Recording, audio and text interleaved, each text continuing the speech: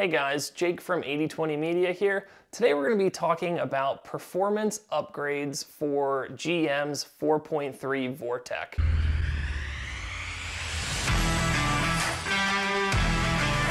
The 4.3 Vortec came out in 1985 and was used all the way up until 2014. And so, of course, over the close to 30 years that it was used for, there were a ton of different variations of this engine. It started out with a carburetor and finished with electronic fuel injection. There are a lot of differences and changes throughout these engines over the years. The 4.3 Vortec was probably most notably used in the S10 trucks as well as in the Silverado and Sierra 1500s. So this video is gonna be applicable to just about any modern, not carbureted 4.3 Vortec. The starting power levels are going to differ just depending on what application your 4.3 Vortec was in, but the list of modifications is generally going to be the same. And I would say this video is going to be most applicable to the 4.3 Vortecs that you're going to find in your Silverados, Sierras, and then some of your later 90s trucks, which used the LU3 variant of the 4.3 Vortec engine, which produced 195 horsepower and 260 torque, which brings me to why we're doing a video on performance upgrades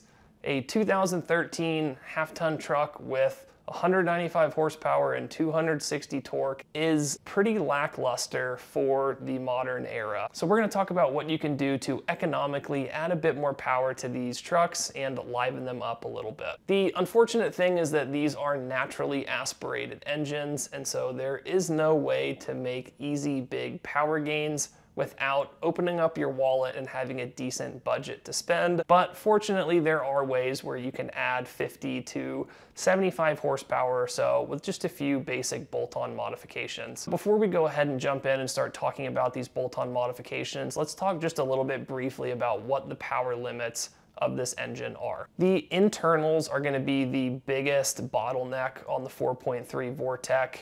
Generally speaking, I would say the safe limit is going to be about 300 wheel horsepower on these engines. Yes, they can handle more. There are some out there that are running 400 wheel horsepower on completely stock internals and a completely stock block, but at a 400 wheel horsepower level, your reliability is going to decrease dramatically. The same goes for about 350 wheel horsepower. You can probably live a little bit longer at 350 wheel horsepower, but ultimately you're asking for a problem on these engines at some point once you start talking about breaching the 300 wheel horsepower mark. The good and the bad news is 300 wheel horsepower is difficult to get to without spending a lot of money. And so if you're just looking at some basic bolt-on modifications, you don't have to worry about that power limit at all because we won't be getting close to it. So with that being said, let's go ahead and jump into this list of bolt-on modifications and then I will spend a little bit of time at the end of this video talking about what your options are if you do want to take this to 300 plus wheel horsepower. First off, we have ECU or engine tuning. This is going to be one of the bigger power gains despite this being a naturally aspirated engine. It's not quite as easy as some of the turbocharged applications where you just drop a tune on it and get 100 horsepower but getting a good tuner or custom tune on the 4.3 Vortec can add about 10 to 15 horsepower and 15 to 20 torque. And so you get solid power gains out of it. It's gonna be one of the better bang for buck or power for price modifications for the 4.3 Vortec. Definitely a must have on your list of modifications if you're looking for some additional power. The second best thing for the 4.3 Vortec is going to be the exhaust system. The exhaust system is actually quite restrictive on the 4.3. Therefore, that means by upgrading it, we can see some pretty good power gains. The best route is gonna be to upgrade the full exhaust system. These cars, of course, do have catalytic converters on them, so you do have a couple different routes to go. If you want to keep your car emissions legal, then the best route is going to be to get short tube headers, get a high flow catalytic converter, and then get a cat back portion of the exhaust system. So a full exhaust upgrade with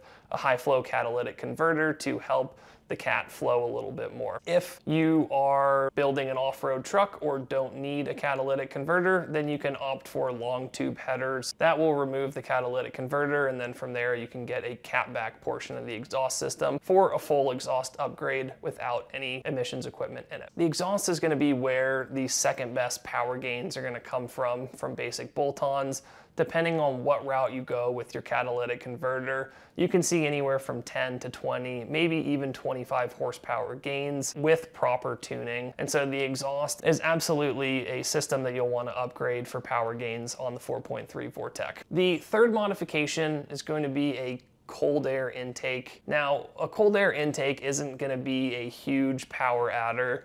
It might get you five wheel horsepower. It might get you one or two. Regardless, it's good for minor power gains, but there are also some other minor benefits to a cold air intake, like improving your throttle response, and you can actually see some minor fuel economy improvements from it as well. Overall, an intake is something that's worth it to add to get the little bit of extra power that you get, even if it's just from the butt dyno from the improved throttle response. My only note here would be make sure you get a good cold air intake. You don't want one with a crappy filter that just sits in your engine bay and pulls in all of the hot air there because this is not a turbocharged and intercooled vehicle. It does matter the temperatures of the air that are being sent into your engine.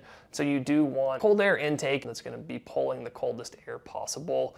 Otherwise, there really isn't much of a benefit. At that point, you might as well just drop a high flow filter into your factory intake and call it good there. So those are gonna be our three basic bolt-on modifications for anyone who's not really looking to get their hands dirty on this engine, but is looking to add a good 10, 20, 30, 40 horsepower with some basic upgrades like an exhaust tuning and an intake system. If you wanna push things further and maybe get a little bit closer to that 75 or maybe even push things a little bit past that and talk about bigger horsepower gains, then what you're gonna wanna look into is a camshaft upgrade. Camshaft upgrades are probably the biggest power adder out of everything on this list outside of forced induction. I just didn't include it because camshafts are a more advanced upgrade. They're gonna be more expensive, but it also takes a lot more understanding, knowledge, and research into a camshaft upgrade it's not just bolted on and get additional power. There's a lot of considerations into which cam is right for your setup and your style of driving and what you're looking to do with your truck. So with the camshaft, depending on how aggressive you go on it, you're looking at the ability to add another 25 to 50 horsepower. And then this brings us to what's really the best route for the 4.3 Vortec. It's not easy to add power to these things. You can't get close to the 300 wheel horsepower limit. Even to get into the upper 200s, we're talking about all these bolt-on modifications, having to upgrade the heads to flow a little bit more, camshafts, so on and so forth, just to probably break 250 or 260 wheel horsepower. And so that's a lot of work to have pretty modest power gains. The answer at the end of the day is forced induction is gonna be the best route to go to add serious power to these engines. It's just forced induction is obviously a more expensive route to go. And you can still only push things so far because once you start talking about breaking past that 300 wheel horsepower level, that's when you need to start thinking about transmission upgrades, internal upgrades, and all those more advanced, more expensive options. Going down that route is something that we'll have to save for a more detailed video down the road just because there's a lot of different considerations to get into. But my recommendation for the 4.3 Vortec is drop an exhaust on it, drop a tune on it, maybe put an intake on there and be happy with it.